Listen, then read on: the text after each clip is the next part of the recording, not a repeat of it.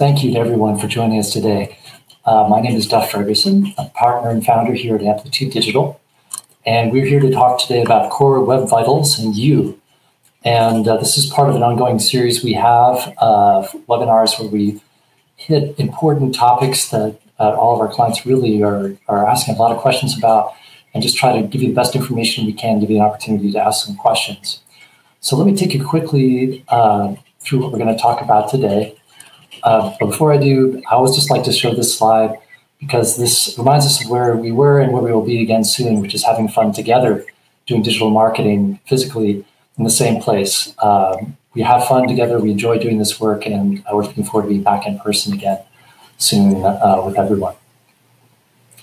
Here's our agenda for today. Um, going to introduce who we have here with us from Amplitude today, take you through just an introduction of what Core Web Vitals are, talk about some how, how what sort of tests we can do, what are some of the issues, and how they might be fixed, and in general, how much is the worry level on this? Uh, is it high uh, emergency level or something that is something dealt with over a period of time? We'll delve into that, give you some final thoughts, and then we'll have a chance for everyone to ask and uh, we'll answer any questions that you have. On the call with us today here, uh, have with me, it looks but on my left, that might be different for you, Jeff Ferguson. He's the uh, also partner, head of production here at Amplitude and he heads up all the production all of our work for all of our clients. And uh, also with me on my other side is Ludwig Makhyan, who uh, is one of our most senior SEO experts here at Amplitude and has plenty to share today that you're going to find interesting. And again, you already know me, I'm Duff. So with that, Jeff, I will pass it over to you and uh, let's get into it.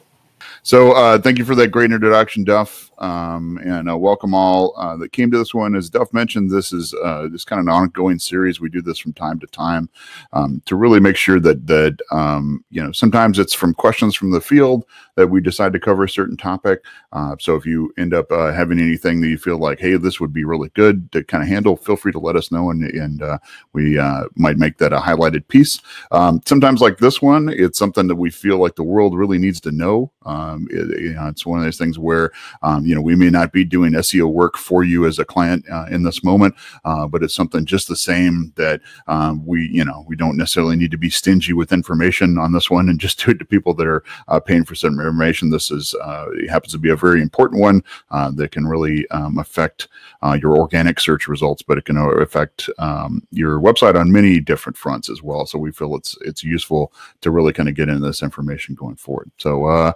let's dive into it, shall we? All right. So, what are core web vitals, right?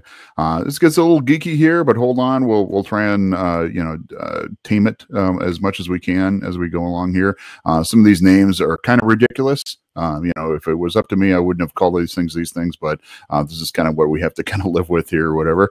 Um, so, one of the big ones you'll hear is first uh, contentful paint uh, or FCP shows up uh, on uh, a lot of the uh, tools and things like as well. And basically, this is this is one of the many time metrics, time-based metrics that we're looking at, and it's really how long it takes for the first image or text to be uh, painted on a user's screen. Uh, painted in this case means, um, you know, like appear on your screen, uh, whether it be on your phone or your or tablet um, or on uh, desktop or whatever it is kind of stuff within the browser itself. How quickly do these things appear? And as you can imagine, uh, this is an important metric in the sense that um, if you're a user and you're coming to a website for the first time and you don't see anything right away, your first impulse is to think that something's broken. Right? It's just it's just the way it works. That's the way people's mind works. They're going to go, oh no, like something's wrong it's not loading whatever it is kind of stuff it's too slow um, i don't have time for this kind of stuff. So this is one of the reasons why google really likes to pay attention to this but this is why the the, the world pays attention to this metric because it's just something where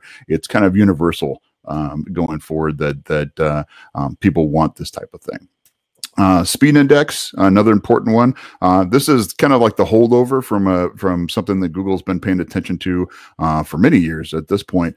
Um, and this speed index is basically just how fa- fast content is displayed on the page. Um, it's a little bit different of a metric than the first contentful paint. Uh, in this case, it's really just like how it loads just overall. And um, like I said, it's been around for some time, but it's it's something where how quickly does this entire page uh, kind of really load up. Largest contentful paint, um, the kind of the, the cousin to the first contentful paint here, um, is the time for your largest image or block of text to actually be painted. And again, this is kind of like just that secondary metric to basically see like, hey, once that first one's loaded, how quickly does the rest show up? Um, and it's all about experience. I mean, these are actually called experiential metrics when it comes right down to it. And the idea is, is that if something loads really quick and then takes forever for the second one to show up to it, it's the same kind of deal where, you know, clients could be, not clients, uh, users could be wondering, hey, when's the rest of this going to show up? Um, am I going to be waiting on these things? I'm already finished reading this next segment. Where's it at? That kind of stuff. So you can imagine if you put yourself in the user's show, shoes, this is why this is really important. Uh, time to interactive. I always thought this one's got a weird name. Time to interactive. It should like be interactivity or something like that. But uh, time to interactive is is basically just what it sounds like. How quickly before um, you as a user can actually start interacting uh, with the screen itself. You know, and that could be anything from uh, scrolling down the page, uh, being able to fill a form out, um, clicking on something, any of those types of things. How quickly does that become a possibility for your page? And again, this is to get around that idea that um, you know people can load pages really quickly, um, but they could just be sitting there and not being able to click on or move forward, whatever. And that's just a bad user interface. Uh, total blocking time um, is the um, it's kind of like the first metric measures in milliseconds of time, and it's really uh, has an idea of it's a total between uh, first contentful paint and largest contentful paint. It's it's kind of a combination of few things, and we'll have uh, Ludwig get into a little bit more detail on that one a little bit later because it's it's kind of a weird description to it. And then there's a cumulative layout shift, right? And this is an important one. Uh, and you've probably, if you've used the web for any length of time, uh, you've most likely encountered um, you know, like this in action and why this is such an annoying thing and why Google's paying attention to it and why it's a good metric. And it's basically the the measurement of the visible element changes within the user's viewpoint. So um, if you've ever used, um, you know, like one of the big news sites out there, you know, it could be USA Today or CNN or TMZ or whatever it is that are out there, and you've been on the page for any um, amount of time, whatever it is, and suddenly you see the content shift around and try and find its place again.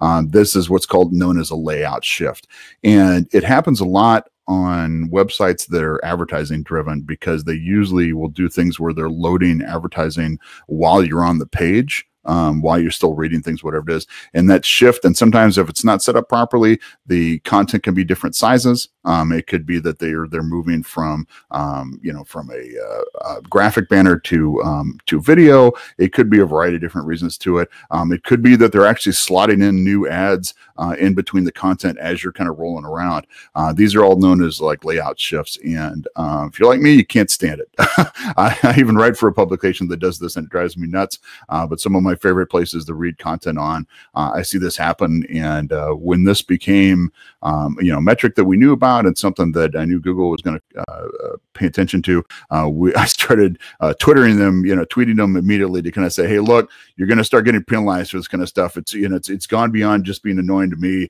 Uh, Google's going to tag you on it now, so pay attention to it. So um, so as on all of these, you'll you'll notice we've got some um, some good averages, some good time uh, ranges for a lot of these things to it, um, based on um, you know different tools and different testings and things like that you can actually do for for that.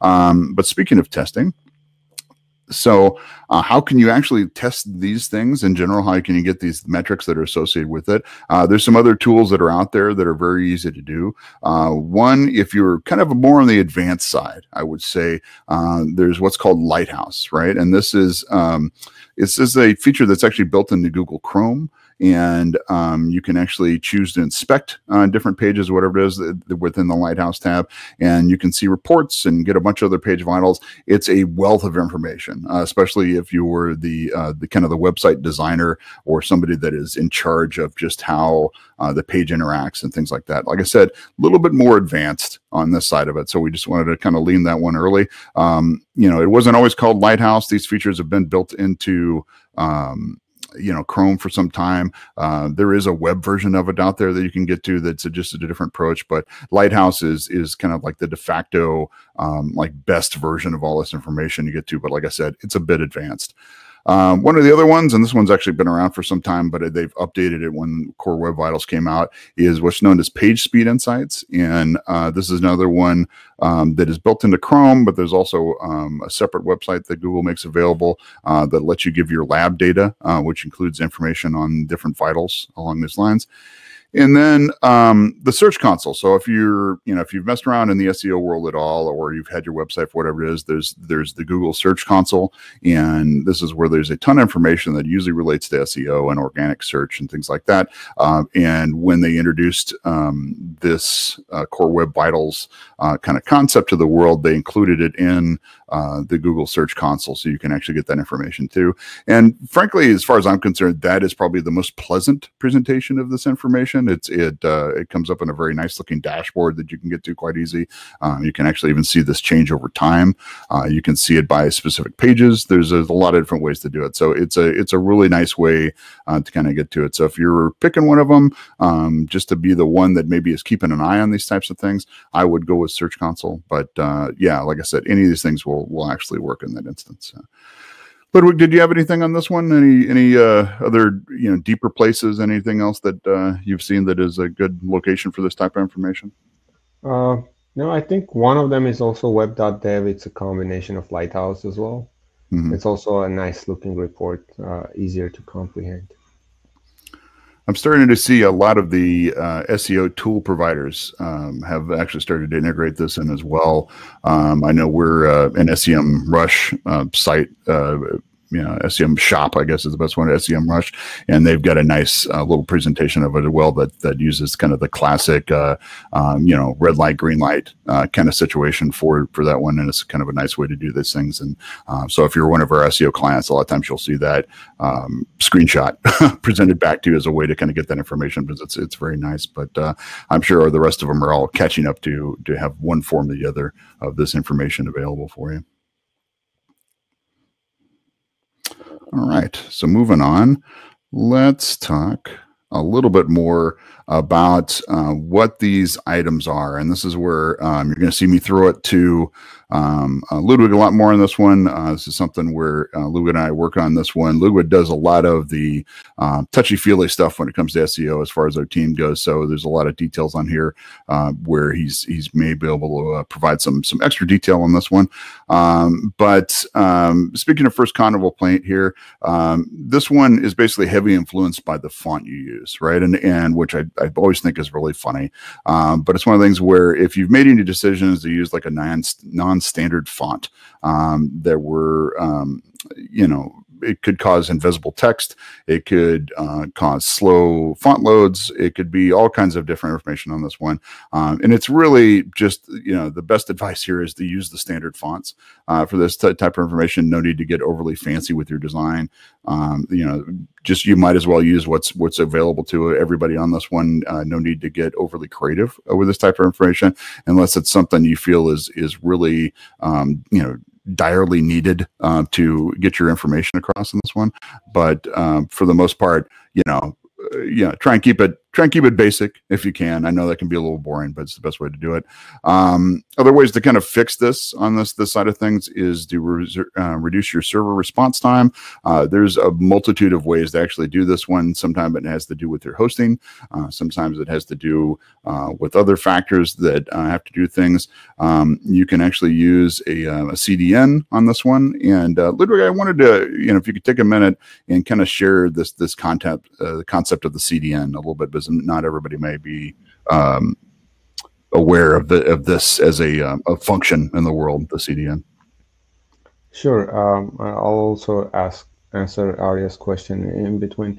So uh, a CDN content delivery network is basically used when you want to spread out your different files like photos, downloadable files, uh, uh, elements, JavaScript, or different type elements of your website or portions of your website across different servers. Uh, basically, what it allows to do when somebody's accessing the website, it allows to connect to multiple locations at the same time and speed up the loading. Um, today, my, I'm sure a lot of people know about Cloudflare, which is one of the most popular ones, and it's a free one uh, that could be utilized as a CDN um, or could even be utilized for caching some of the elements of the website. Um, I think that's it in general. And uh, to refer to Arya's question about standard fonts, so standard fonts, the ones, those are the ones that are in your system by default. So Windows and Mac, they have their own versions of fonts like Arial or uh, Verdana or Trebuchet or whatever uh, sans serif fonts, etc. So you could utilize some of those standard ones, but also a lot of websites today use uh, Google fonts or more custom fonts on the pages, and you can't force those fonts to install on a computer from the website. Um, so people use a CDN, um, for example, Google Font CDN, and load the fonts from there. But if it's not used properly, like proper tags aren't used, that can slow down the website loading because it's trying to download different versions of the font to show the pages. Um, if, if I hope I answered it, so let me know if you have additional questions on this area. Sounds good. I think that was pretty in depth. So, uh, some of the other things you can do on this one: uh, remove or reduce the uh, above the fold script based elements too. And and this is something um, that your uh, web dev team would would honestly have to get involved on uh, on this front. Otherwise, it it uh, could be a little dangerous to just start pulling things down or moving it. Um, there's uh, what's known as prefetching um, certain elements that you're sure will be used in the future. Um, this again is a um, kind of a back end uh, type of activity that you can use. Um, the big one, obviously, is avoiding multiple redirects. Uh, redirects, like you probably heard things like the 301 redirect, the 302 redirect. Um, there's also different um, HTML based redirects that um, you really shouldn't be using anyway. Uh, but if they are in place, uh, this type of thing slows things down. Um, multiple redirects in general uh, can kind of slow things down and, and uh, are also known as a redirect train uh, redirect a chain and that can actually um, goof up things on multiple fronts so if you ever see us highlight that fact to fix it we really do mean it go out and fix that one amazing it's it's something that uh, it's a bad user experience but google doesn't like it much either and then the last one I wanted to give over to uh, back at Ludwig as well is is this concept of deferring the non-critical resources. And if you could give us a better idea of like what you would consider to be non-critical, Ludwig, that would be fantastic. Um, so with any website, there are a lot of code that's loading in the background from advertising codes to tracking codes to functional codes. Like let's say you have a form on the website, there is JavaScript that needs to validate that form. Uh, you have advertising on the page that all that grabs the content from a third party. Um, you have tracking, whether it's uh, for like a crazy egg tracking or Google Analytics or Adobe Analytics, whatever you're using. So all, all of these um, scripts uh, influence the loading of the page. Um, some of those scripts could be uh, moved towards the bottom of the page, which visually doesn't change anything for the user, but how the browser interprets the code um, it helps speed up the loading of the pages. So deferring is also um, telling the browser, okay, for this portion of the code, you don't have to wait for it to present it to the user. So you can go ahead and show the, the contents of the page to the user without uh, waiting for, I don't know, Google Analytics to load or uh, without waiting for this JavaScript validator to load. Uh, sometimes you can defer it. Sometimes you can use a, a, like a CDN, which also speeds up slightly. Um, sometimes you can move it to the bottom of the of the page, and sometimes you also have code that's used on other pages, but it's being pulled on each and every page of the website.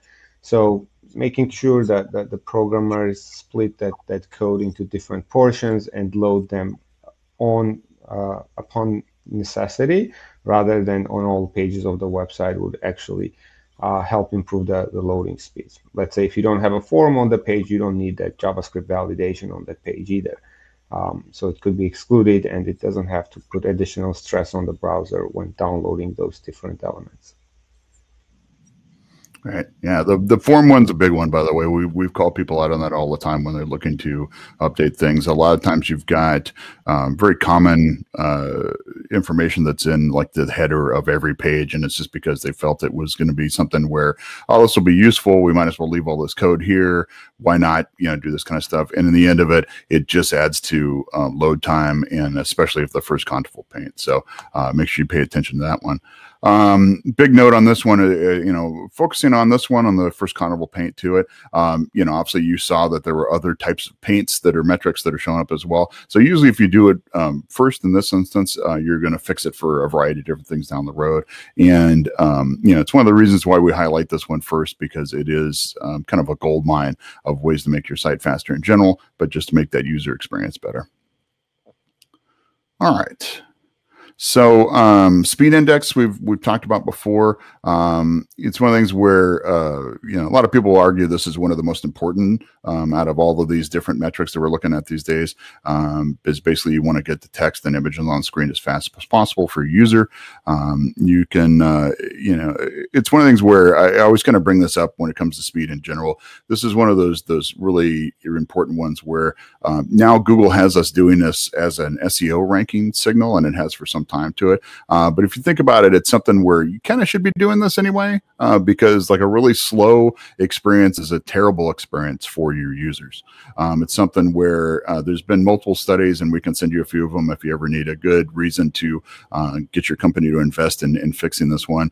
Is that um, you know fixing uh, the the page load speed on here will um, do things like improve your conversion rate um, substantially. I mean, like it's one of the things where they they've they've got it down to the second where like every second that you improve that, your conversion rate goes up by a percentage point. I mean, it's it's that tied uh, to the success of things. Uh, you know, you'll see it. Um, you know, you may have even seen it when Duff and I are in the early pitch stages of getting you as a client these days. Uh, sometimes we'll bring that up uh, during that stage to basically say, "Hey, look, this is going to become a problem later on. If you really want to improve things, uh, we would suggest that you make your web page a lot faster." So uh, there's a reason to it. So um, you know, a lot of similar things that we've kind of brought up before on this one. Reducing your JavaScript execution time is a big one. This is something where um, it just takes work. there's there's some coding things that need to be cleaned up. Uh, sometimes it's just sloppy old code that that you know should have been cleaned up uh, during development but never did. Um, there's another way, what's known as lazy loading um, of a lot of JavaScript uh, that can be kind of deferred later, whatever it is. Uh, uh, Ludwig kind of brought up some versions of this before in the first Contentful Paint. Um, a lot of the third party scripts um, that are out there to it. And again, this could be tracking, uh, this could be validation, this could be a lot of different things that are out there. Uh, you can actually put those at the bottom of the page so they load last.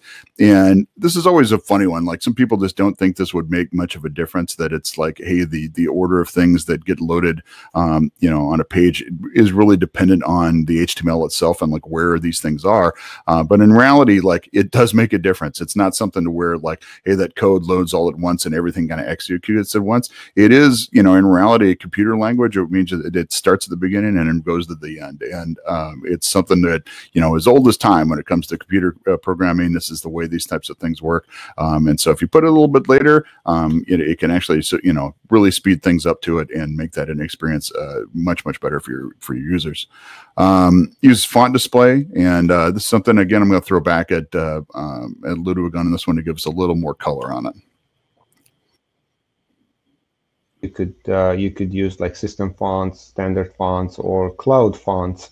Um, you could also uh, instruct the computer to inter interpret them differently. Let's say if you're using a cloud font and for whatever reason that server is temporarily unavailable or takes too much time to load, you know, you, you, programmers could use um, font swaps, uh, which means you know that font can be swapped in the browser while it's still loading so the page could display with, let's say, a standard default font that's available in the computer right now. And then once the font is loaded, only after that, it just uh, changes the, how it's displayed.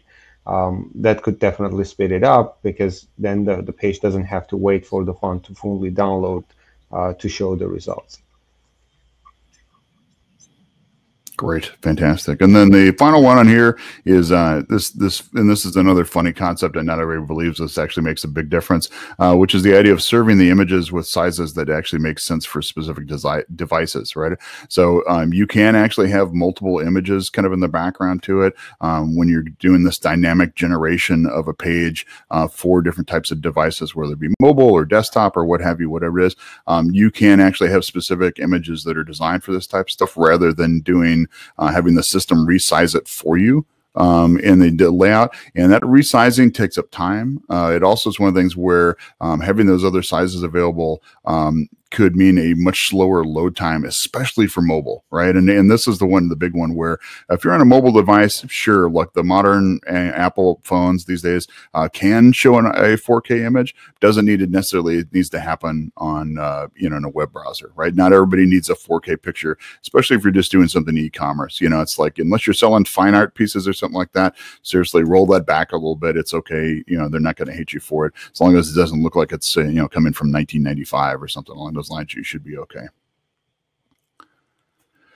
All right, so largest contentful paint on this one. I'm not going to get too, much on this because, it, like I said, it's a lot of the same things as the first contentful uh, paint on this one to it. But again, um, it all comes down to optimizing things like your uh, CSS code, your images, your fonts, your JavaScript, things like that.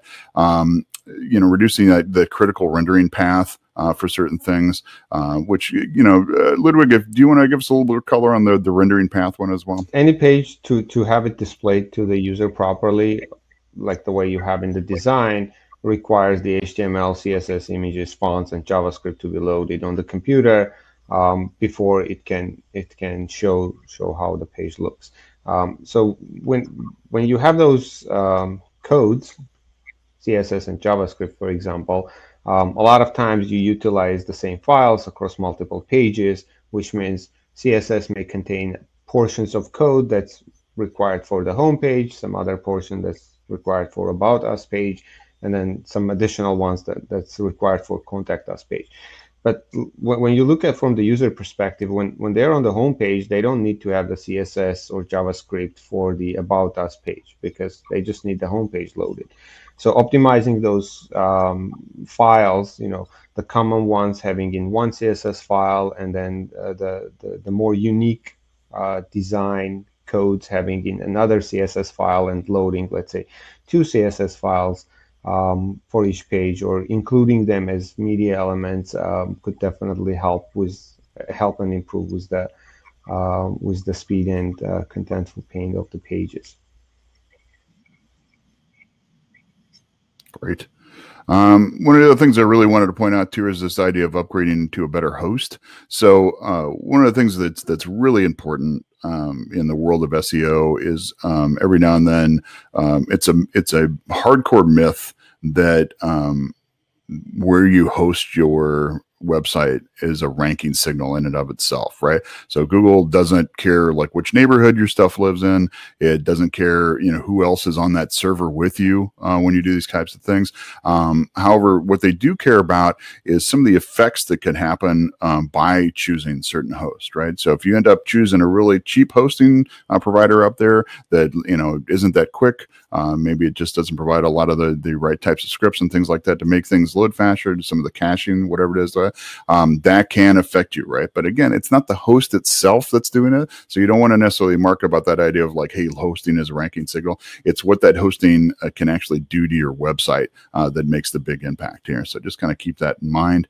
Um, the uh, large page elements is another one we've kind of talked about that before whatever is and uh, this is always going to interesting one. We uh, we've had multiple instances with clients where um, you know we've we've been running campaigns from forever, you know, paid search campaign, whatever it is, and then um, somebody has gone through and maybe they've they've updated a slider. Um, that's got some images that are flowing by on a regular basis. Uh, maybe it's something where they slid in something new for the holidays. Who knows what it could be? But in, in that instance, maybe they just got you know uh, rush for time. Maybe there was somebody new doing it whatever it is um, but they didn't optimize that image properly. And so what you what was getting loaded was these giant 4k uh, type of files whatever that um, were super uh, heavy on the load times or whatever. And I, I i'm not kidding here. We've seen like uh, campaigns suddenly their conversion rate starts falling apart whatever it is. And it's something where we can actually see it um, on all our charts for whatever it is, where things are humming along,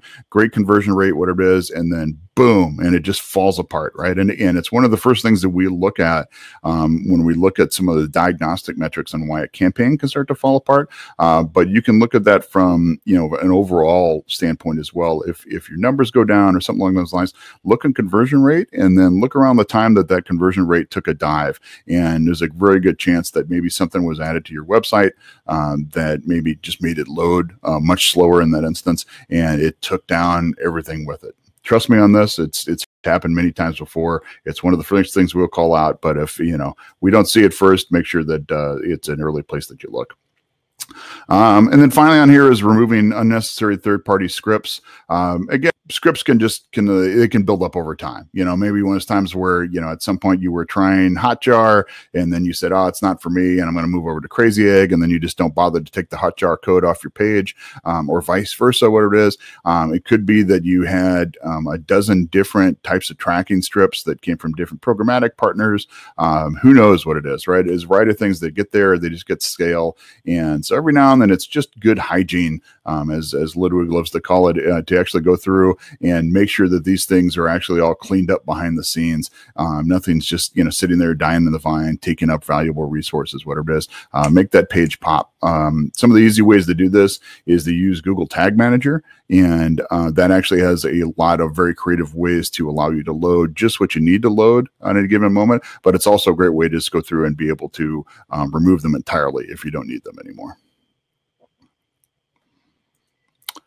All right, so uh, time to interactive, um, and this one I'm actually going to let um, uh, Ludwig take this slide entirely into, and be like I said, it was uh, this is one of the more uh, you know like interactive and more uh, interesting types of ones as well. So I'm going to let uh, let sure, Ludwig run down the line. Um, so one. just like during the previous slides, you know, we talked about the elements that influence the speed. Time to interactive talks about um, the the moment when you can start using the website um, whether it's clicking, whether it's scrolling, uh, or seeing something for the user after the, the, the initial contentful paint.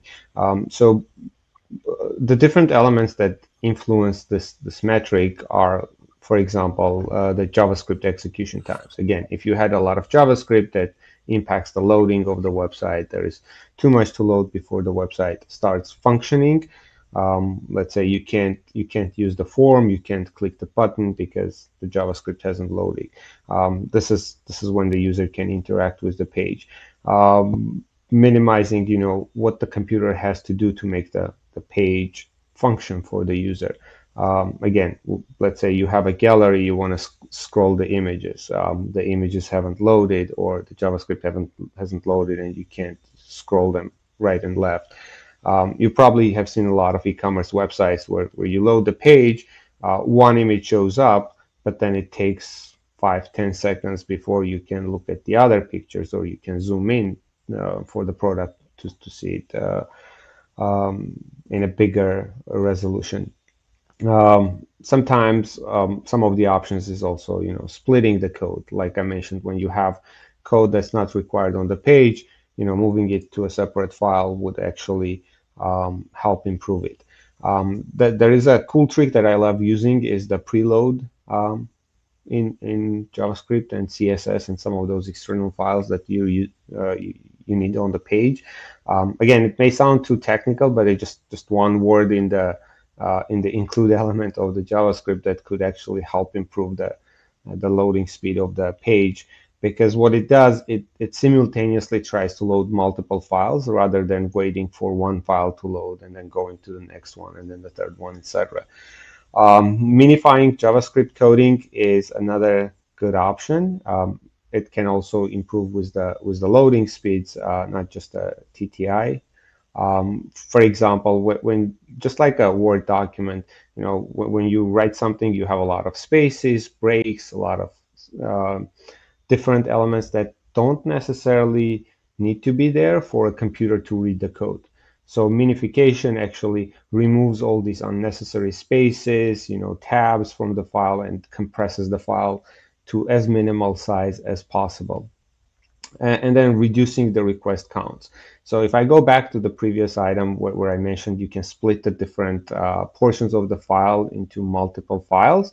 Now this one is the opposite. It, it, it tells you you know you can't have 200 javascript files loading on a page or you know 300 css files to make the page load. So it has to be rational um, how you're splitting the files or how many of them are dependent on each other. So try to make it um, you know one max two files per page um, but they, they're in a way that actually help improve and you know help load it faster. Because if you have 200 requests per page on or even 100 requests per page. Um, images, JavaScript, CSS, tracking codes, etc., etc., etc. It's going to take time for the page to load. So the, the less you can include, uh, the less requests the server, the computer, the user's computer can make to the server, the faster your pages could load. Um, anything you'd like to add, Jeff? I think you hit it all. Yeah, this is the one that, uh, like I said, it's the uh, the timed interactive. I thought was always a, uh, you know, it's an interesting thing. I think a lot of people miss out on on the optimization for this one specifically. Um, but you know, if you think about it again, if you're trying to sell something, if you're trying to get somebody to fill out a form, um, those types of things, um, the sooner it's possible, the the you know the, the better it can be for everybody across the board. All right, and so uh, total blocking time, uh, we can actually shoot through this one pretty quick too. It's a lot of the greatest hits from the other side of things. So remove a lot of that unnecessary code. We've talked about that on multiple fronts. Of this thing, uh, load that third-party code as quickly as possible. Uh, there's a myriad of different ways to actually make that possible, and uh, optimize and refactor all that that kind of slow coding and things that are out there. Uh, Ludwig covered a lot of that on this last one, but again, as you can see you know, as you start working through these things, um, you know, one thing will beget another, will beget another, will beget another, and it, and it's it's something where it all kind of comes together. So just attacking all of these things at once usually will just improve things across the board. There's most likely a lot of low hanging fruit uh, that you can tack as you work on these things, and um, it won't necessarily take up a bunch of uh, time for your developers and things like that. Uh, this does give me the moment to actually bring up the fact uh, if you don't have the resources available to make these type of changes on your own, uh, we do. Uh, we actually have those type of resources available and we can partner uh, with you uh, to provide this type of information, uh, this type of services going forward. So if you ever need anything like that, just give us a hand raise. You can reach out to me, you can reach out to Duff, um, and we're happy to kind of make that connection for you, uh, let you know pricing, all that good kind of stuff. All right, and uh, the final one in here, the cumulative layout shift. My uh, my the slimiest thing as far as I'm concerned. This is the thing I, I can't stand the most, as I mentioned before. Um, it's when the page just kind of shifts around while you're trying to read it. Uh, I mean, that's that's the thing that you really have to think about is is if you're a designer and you've got this type of experience that's being created for the content that you're putting out there. I mean, that's that's your purpose in life is to put content out there so people can read it.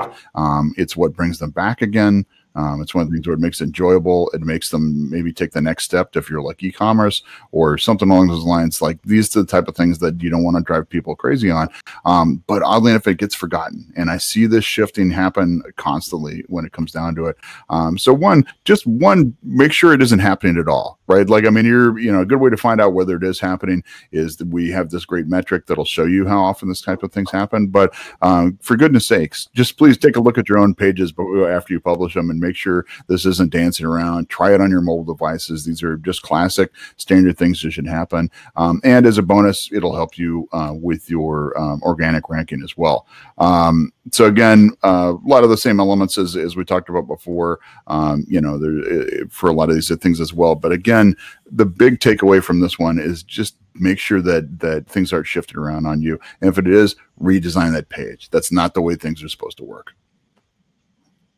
All right, so um, we're coming down to the home stretch here, and um, one of the big things I, I, wanted to make sure that we we share in this one is uh, uh, is the worry scale. We like to do this one as well, uh, a lot of functions because you just never know how important this type of thing is. Um, it's uh, it's one of those where in this case we want to we're going to give it a, a, solid seven on this one. It's certainly not a ten. You don't need to overly panic about this thing. You don't need to drop everything to do it, but it's something that we feel is very important on multiple fronts. As I said, it's it's become a ranking signal now um, for it, but even before as a ranking signal, it was important before, right? And and this is always our our big thing when it comes to a lot of SEO is that a lot of the things that are that are accounted as SEO uh, things these days, whether or not be being mobile friendly or that the page speed uh, loads quickly or the interaction time is fast, um, a bunch of this stuff you, you should be doing it anyway because that's what being a website owner is about, right? You want this this fantastic experience uh, for your users uh, so that they enjoy the experience, they buy your products, they fill out that form, whatever it is, kind of stuff to it. And I know it's tough. I know it's a lot of work. Sometimes it's you're just happy that the thing loaded at all and it looks pretty, but you know, there's there's a lot more to it uh, than that. So make sure you actually um, pay attention to those types of things. So we're going to put this as a as a solid seven on this one uh, moving forward. Um, that said, one note we did kind of want to bring up on this one is that um, it is part of many things that Google uses to rank your website right? It's one of, you know, hundreds and hundreds of different ranking signals that Google loses that determine things, right?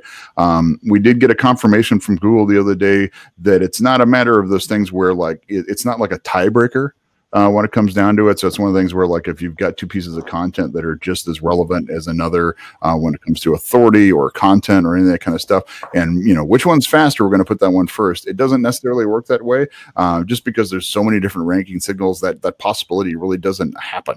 Uh, believe it or not. However, that said, um, the big picture thing that I always remind people, and if you've if you've heard me speak on SEO before, um, if you've been one of our clients for a certain amount of times, is that uh, Google has many ranking signals, and it's all these different types of algorithms they use to kind of determine what's going on to it.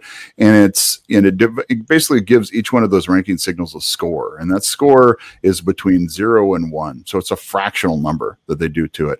And the big thing to re- remember here is that Google doesn't add up those scores; it multiplies them.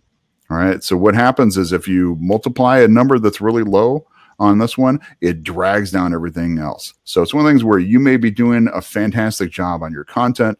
Um, you know, it's one of the things where you may have put all the effort in to get all those inbound links to it. Uh, but if your website design stinks, right, it's going to drag everything back and uh, it's going to deprive the world of all that work you did everywhere else. So um, it's one of the things where, you know, we get asked all the times, you know, like, hey, look, what's the most important thing? What's this, whatever it is? Um, it, the answer is it's all the things, right? so you need to do it. And I know that can be overwhelming. I know there's a lot of things you have to pay attention to, and sometimes the best approach is to hit this lo- lowest hanging fruit.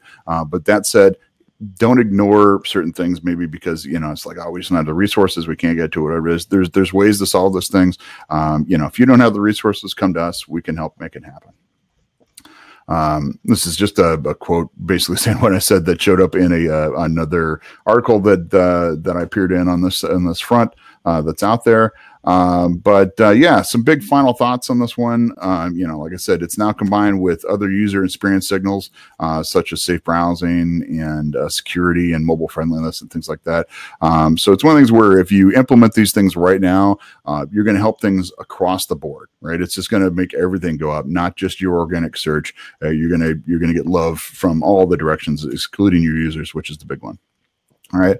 Um, SEO is one of those evolving kind of things with multiple parts, um, you know, to go well beyond Core Web Vitals. Uh, user experience, even if it wasn't an integral part of Core Web Vitals, uh, is one of those websites you should always be trying to improve anyway. So, you know, even if it's getting a certain point, you know, keep working on this thing to it. Um, that said, I always got to point out, don't drive yourself crazy either. You know, it's one of the things where, um, you know, trying to get this thing as close to zero might drive your, you know, really kind of drive you nuts.